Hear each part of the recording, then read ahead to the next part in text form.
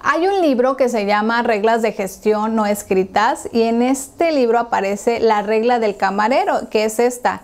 Y es algo que puedes utilizar para evaluar qué cariñosa y considerada y empática es la persona con la que estás saliendo. Hola, ¿qué tal mis corazones? Pues el día de hoy vamos a hablar de siete cosas que pueden decirte mucho sobre una persona. Y esto lo puedes aplicar con las personas con quien sales, con un chico o con una chica. Imagínense que desde la primera cita supiéramos cómo es. Nos ahorraríamos un dolores de cabeza, nos ahorraríamos el estar perdiendo el tiempo con gente que en el futuro quizás no lo merezcan. Lo único que tenemos que hacer es ser muy observadores aplicando estas siete cosas que te voy a mencionar. Mi nombre es Patricia Reddy, por si no me conoces, y comenzamos.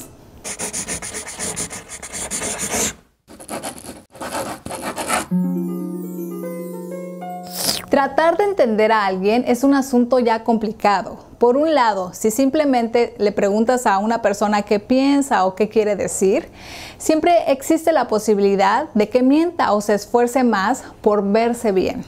Entonces, ¿cómo puedes hacerte una buena idea de qué tipo de persona es realmente otra? Y aunque no existe una manera rápida y sencilla de evaluar el verdadero carácter y las motivaciones de una persona, existen algunos trucos, consejos que pueden ayudarte a comprender mejor sus mentes. Las personas que nos rodean en realidad nos dan mucha información sobre ellos mismos sin ni siquiera saberlo. Y lo expresan en las pequeñas cosas que hacen. Todo lo que tenemos que hacer es observar con atención. En el punto número uno, su lenguaje corporal. Desde nuestra postura hasta nuestras expresiones faciales y nuestros gestos con las manos, los investigadores creen que nuestro lenguaje corporal y las señales no verbales constituyen más del 65% de toda la comunicación. Es demasiado. Y debido a que a menudo lo hacemos de manera inconsciente, el lenguaje corporal puede ser una herramienta increíblemente poderosa para comprender la personalidad, las actitudes y los sentimientos de alguien. Por ejemplo, las señales faciales como sonreír transmiten felicidad, las cejas fruncidas denotan confusión. Morderse los labios muestra que está preocupado, ansioso o quizás angustiado. Los puños cerrados indican pues que está enojado o frustrado. Y los brazos cruzados, que esta es una postura muy muy recurrente de muchas personas, eh, te quiere decir que está impaciente o que está aburrido o que está a la defensiva o que está poniendo una barrera entre tú y yo. Así que aguas con esta, con esta postura. Bueno, en el número dos, sus cuentas de redes sociales. El perfil de una persona y la forma en que se presenta en línea revela mucho sobre la personalidad, los rasgos, los intereses de una persona así como la forma en que quiere que, que, lo vean. Su presencia en las redes sociales muestra qué tan conectados quieren estar, mientras que su configuración de privacidad muestra cuán cómodos se sienten compartiendo con la gente. Las imágenes que publican o comparten te dicen mucho sobre lo que les gusta, ya sea salir con amigos, comer buena comida o ver películas. Las cosas sobre las que tuitean te hablan muchísimo también de lo que son. Sus gustos, sus disgustos. Ahí están todas las compañías robándose nuestros datos para podernos vender algo porque ya, ya nos conocen y saben lo que queremos comprar. La tercera es que la forma en que se visten es otra forma de comunicación y de aprender mucho sobre una persona sin ni siquiera hablar con ella, solo observando su forma de vestir. Por ejemplo, los que visten de manera informal suelen ser personas tranquilas y, que valoran esa comodidad sobre el estilo y no se preocupan tanto por impresionar a los demás.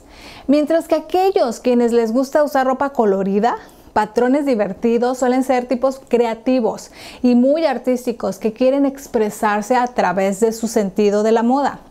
Los estampados florales y los vestidos pues transmiten una, un sentido femenino y gracia.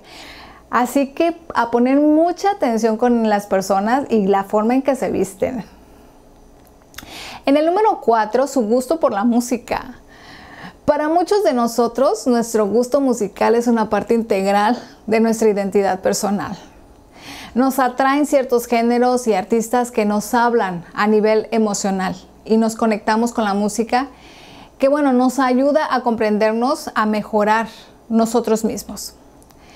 Por lo tanto, no debería sorprendernos que darle un vistazo a la lista de reproducción de una persona que te guste y puedas saber mucho sobre él. Por ejemplo, quienes escuchan música como el jazz, soul, pues son personas muy sensibles, poéticos, apasionados, muy profundos. Mientras que las personas a las que les gusta la música acústica, folclórica, suelen ser más reflexivas y tranquilas y además muy cálidas. Y quienes quienes les gusta la música pop y la música dance suelen ser más optimistas y divertidos. Son extrovertidos y alegres. En el número 5 es cómo tratan a los extraños. Este punto de cómo tratan a los extraños, bueno, el autor estadounidense Dave Berry dijo una vez, una persona que es amable contigo, pero que es descortés con el camarero, no es una buena persona. Y es cierto que la forma en que tratas a los extraños, especialmente a los de un estatus social más bajo o que no tienen nada que ofrecerte, es muy reveladora su, su personalidad. Cuando alguien es grosero y respetuoso, con un extraño, pues lo que muestra es que es superficial y privilegiado y que solo es encantador y amable cuando tiene algo que ganar con la otra persona. Hay un libro que se llama Reglas de gestión no escritas y en este libro aparece la regla del camarero, que es esta. Y es algo que puedes utilizar para evaluar qué cariñosa y considerada y empática es la persona con la que estás saliendo. En el número 6, ¿Cómo hacen el contacto visual? Siempre que hable con una persona, tenga en cuenta los ojos. El contacto visual es una buena señal de que te está prestando atención y está interesado en lo que dices. Pero aquellos que a menudo rompen el contacto visual pueden estar nerviosos o incómodos o distraídos. Las personas tímidas por lo general pues tienen problemas para mirar a alguien ¿Por qué? Porque esto puede ser porque los encuentran atractivos y para ellos es intimidante. Las pupilas también hablan, las pupilas dilatadas puede ser una especie de deseo, el parpadeo rápido es una angustia y los ojos entrecerrados también pueden decirte que esa persona puede ser amenazante. En el número 7 eh, tenemos la teoría del carrito de compras. No sé si conoces esta teoría. Esta teoría del carrito de compras es un experimento mental que se originó a partir de una publicación anónima de eh, una página que se llama Reddit y se volvió viral apenas este pasado 8 de junio. Y en pocas palabras, la teoría del carrito de compras del compra de supermercado postula que si elegimos o no devolver nuestros carritos de compras una vez que hayamos terminado con ellos, es la prueba de fuego definitiva para la capacidad de una persona de autogobernarse bien. Devolver el carrito de compras es fácil y conveniente, pero no del todo necesario. En general se reconoce que es lo correcto y sin embargo no, no se esperan consecuencias nefastas si no lo dejamos en el lugar que es. No hay nada que ganar con la devolución del carrito de compras. Por lo que la única razón por la que alguien lo haría es porque, eh, porque está esperando una recompensa o porque eviten un castigo. Esa es la única solución. O sea, cuando tú devuelves un, carrito, muchas personas piensan, pues ah, que nadie me va a decir nada si lo dejo aquí. No voy a recibir un premio si lo dejo allá. Así que muchas personas deciden dejar el, carrito de compras donde sea. Y da mucho, este, la verdad es que sí es molesto para uno cuando va manejando y buscando un lugar donde estacionarse que quieres entrar a, un cajón y de repente hay un carrito ahí que casi te agarra un parte del, estacionamiento y, y, no puedes ponerlo ahí porque le vas a pegar al carrito. Entonces tienes que buscar otro cajón. La verdad es muy feo ver carritos por todos lados, y pero fíjense, se hizo esta investigación sobre cómo son las personas. Y si tú llevas a una persona al supermercado con la que estás saliendo y estás conociendo, puede ser esta prueba que le hagas, pero aparte también puedes tener una prueba extra que se me ocurrió ahorita. Cuando vas al supermercado y haces tu compra, dile a la persona, yo te acompaño a hacer tu compra. Tú ves qué clase de comida compra Entonces a través de los productos te das cuenta mucho también de la personalidad, que si se cuida, que si come muchos carbohidratos, mucha leche, qué clase de productos come, qué clase de productos este, consume. Entonces te das una idea de cómo es. Y de ahí dejar el carrito también te va a ayudar muchísimo para conocer mucho a esa persona. Y fíjense que yo lo del carrito, yo soy una persona que no me gusta dejar el carrito tirado y nadie me supo de, nadie me enseñó de que estaba bien o de que estaba mal. Eso es algo que, que, que me nace, que digo, no puedo dejar las cosas ahí botadas, siento que dejo algo botado ahí, tiene que estar en su lugar y tengo que irlo a dejar donde están los demás carritos.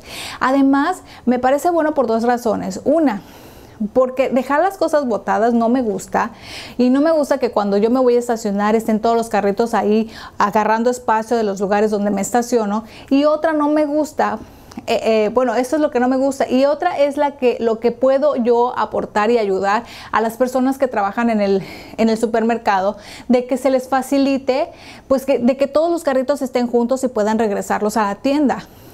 Es, también se me hace muy, muy parecido este, este ejercicio como cuando tú vas en la calle y compras algo, compras un refresco, compras un, unas este, papas y tienes la envoltura o tienes la botella.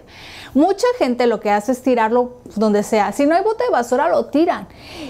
No, yo no puedo hacer eso. no puedo. Voy cargando mi basura, mi basura, mi basura. Y a veces no traigo ni bolsa, pero lo traigo en la mano hasta que encuentro un bote de basura. Porque siento feo dejar tirada la basura así nada más. Entonces, eso también podría hablar mucho de una persona, ¿no creen? El ir con un amigo caminando, compren algo y de repente tu amigo tire la basura así.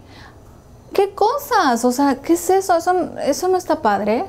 Pues bueno, ya te dije estos consejos que puedes utilizar con alguien si quieres conocer cómo es, su personalidad, su carácter.